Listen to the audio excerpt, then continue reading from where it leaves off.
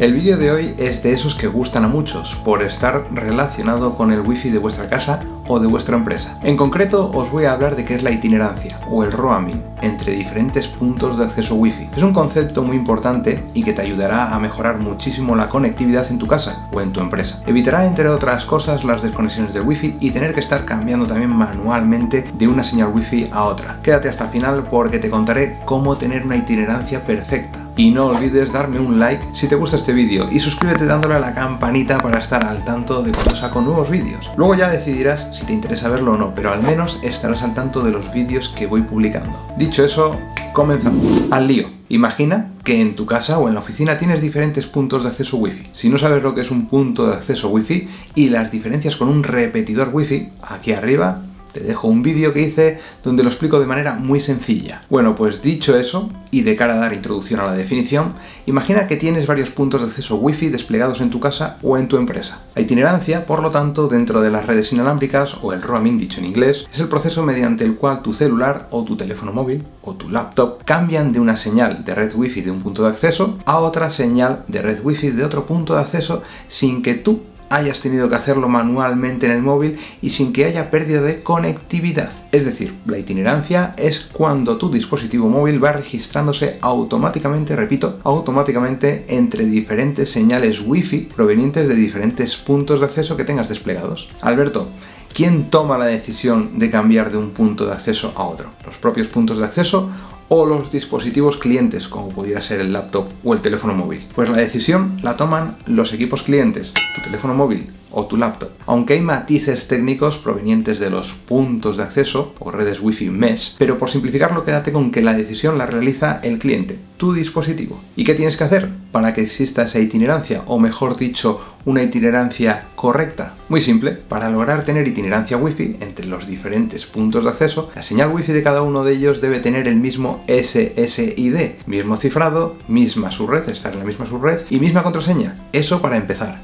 SSID, por si no lo sabes, es el identificador de la red Wi-Fi, es decir, el nombre de una red Wi-Fi, así de sencillo. Y dirás, Alberto, yo tengo una red Wi-Fi con varios puntos de acceso Wi-Fi, cada uno con un nombre o SSID diferente y mi móvil va cambiando entre ellos. ¿Eso no sería itinerancia? No, ya que la itinerancia en sí, por definición, conlleva mantenerse dentro de una misma red y que no haya pérdida de conectividad. Puede que al pasar de un SSID a otro sigas estando dentro de una misma subred, pero habrá pérdida de conectividad, saltos, etcétera, cuando se pasa de una SSID a otra diferente. Por lo tanto, para una itinerancia correcta no debe haber saltos o zonas sin cobertura entre los puntos de acceso implicados. Es decir, que la señal, la cobertura o el alcance espacial del wifi de cada punto de acceso debe solaparse Repito, debe solaparse siempre con la señal wifi de alguno de los puntos de accesos adyacentes. Concretamente, por si te interesase, el solapamiento debe ser de alrededor del 20% entre las zonas de cobertura, células de dos puntos de acceso. Es decir, que si esto es una zona de cobertura y esto es otra zona de cobertura,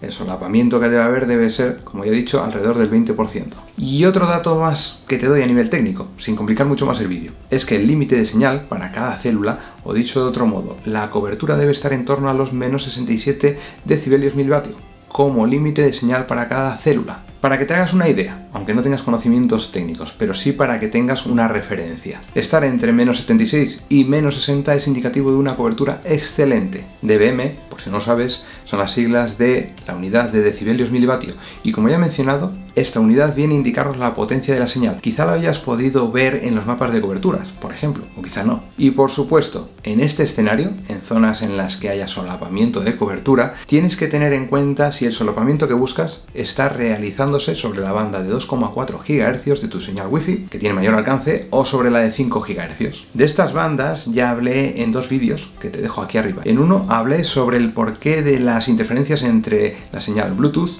y el Wi-Fi, y en otra hablo sobre cómo mejorar tu cobertura.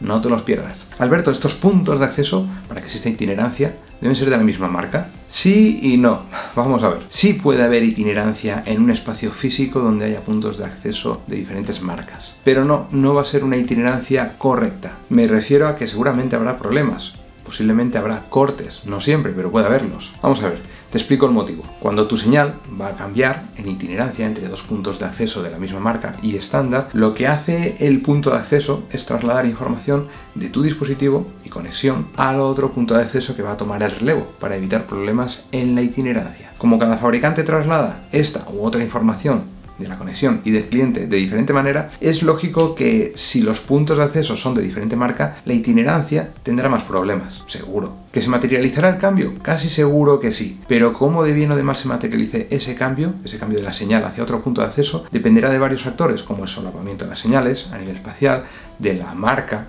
de los puntos de acceso, de la agresividad de la itinerancia, que ya hablaré, de tu móvil, etc. Habrá ocasiones incluso en las que tengas una señal wifi en tu móvil muy débil, aun estando cerca de otro punto de acceso con una señal más fuerte. ¿Por qué ocurre esto? Pues porque tu teléfono móvil, por ejemplo, aún sigue enlazado a la señal wifi del punto de acceso que está ahora físicamente más lejos y que no termina de enlazar automáticamente con otro punto de acceso que puede estar mucho más cerca.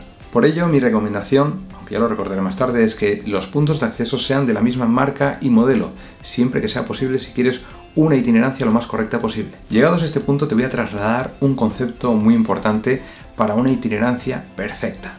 El concepto del Zero Handoff Roaming. Este concepto, pues en que con él te lo pongo aquí, se da cuando no se produce corte de comunicación ni ves variar el pin durante el cambio de señal de un punto de acceso a otro. ¿Y qué condiciones deben darse para que se produzca un correcto Zero Handoff Roaming? Pues que los diferentes puntos de acceso Wi-Fi estén funcionando u operando en el mismo canal, que los clientes Wi-Fi, como tu teléfono móvil o laptop, cumplan con el estándar 802.11 AGN. Hay que mencionar, por lo tanto, que no todos los puntos de acceso del mercado que vas a encontrar en el mercado son compatibles con el Zero Handoff Roaming que todos los puntos de acceso estén en la misma subred, lógicamente. Y si estás pensando que el hecho de hacer uso del mismo canal puede crear interferencias entre los sistemas clientes, estás en lo cierto. Lo ideal sería que cada punto de acceso trabajase en un canal diferente para evitar interferencias entre clientes próximos, sobre todo cuando hay mucha densidad de ellos. Pero con esa configuración de diferentes canales no podrás hacer uso de la itinerancia transparente y perfecta que es la esencia del Zero Handoff Roaming. Por eso, como ya he mencionado, cuando hay mucha densidad de clientes, conectados a estos puntos de acceso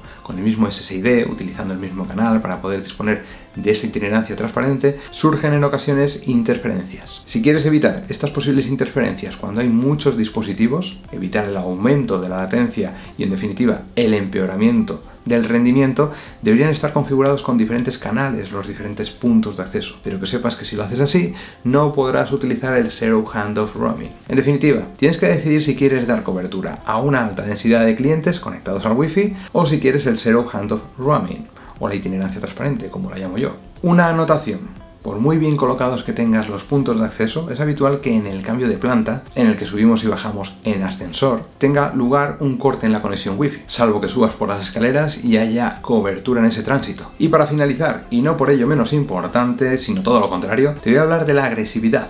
Sí, como lo oyes, te voy a hablar de la agresividad de la itinerancia Wi-Fi. Normalmente la itinerancia funciona muy bien en los teléfonos móviles, pero no tanto en los ordenadores portátiles y laptops. Una de las opciones que afecta a esta señal del portátil es cuando está configurado el perfil o modo de ahorro de energía, ya que hace que el sistema consuma poco y que por lo tanto la señal o antena Wi-Fi del equipo tenga poca sensibilidad.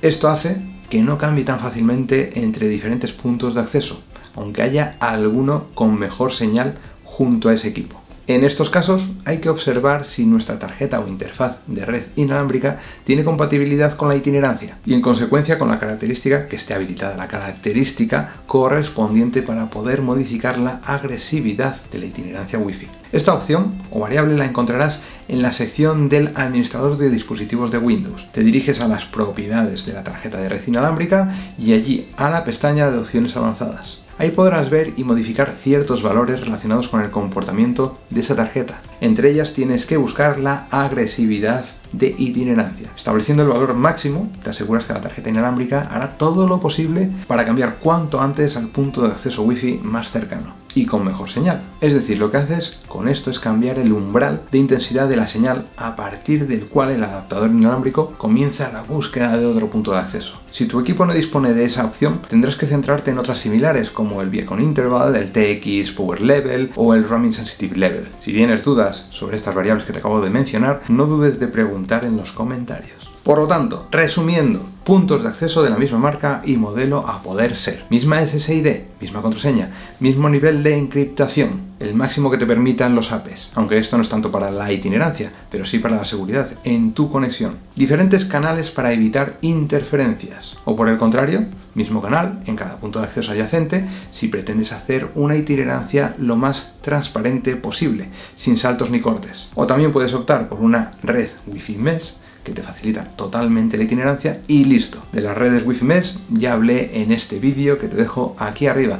Lo expliqué de manera muy sencilla, no te lo pierdas. Y si has disfrutado y aprendido con el contenido de este vídeo, no dudes en darme un like, lo cual te lo agradeceré muchísimo, ya que me muestra tu interés o apoyo para seguir haciendo vídeos y así puedo enseñarte y explicarte más y más cosas sobre tecnología y ciberseguridad de manera gratuita y porque también favorece al algoritmo de YouTube. Y si encima te suscribes, sería la leche. Y no olvides darle a la campanita para estar al tanto de cuando saco un nuevo vídeo. ¿Que te interesa verlo? Genial. ¿Que no te interesa ver ese vídeo en concreto? Pues no pasa nada, ya habrá más vídeos que te puedan interesar, porque publico y lo intentaré todas las semanas. Un saludo y hasta el próximo vídeo.